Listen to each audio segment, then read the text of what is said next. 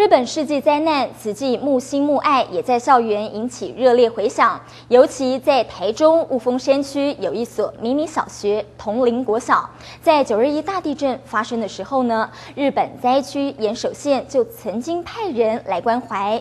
这次学校师生都抱着感恩的心，发动捐款，要将爱送到日本。这一堂是自习课，慈济人来到教室，感谢这群同学们的善心。看到日本灾情惨重，大家不约而同在联络簿上写下希望能够把爱送到日本。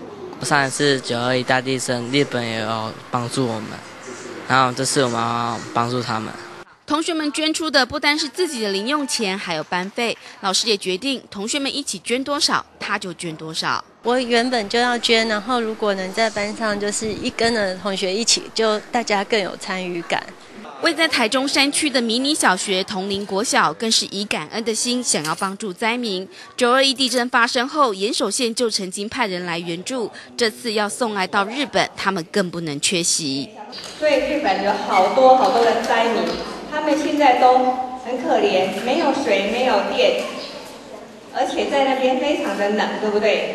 台中潭子区的头家国小校长是慈济会员，也在校园发起木心木爱活动，决定把善款透过慈济协助日本重建。日本很可怜呐，所以我们应该给他们一些钱，那个有家可归啊，然后平平安安的。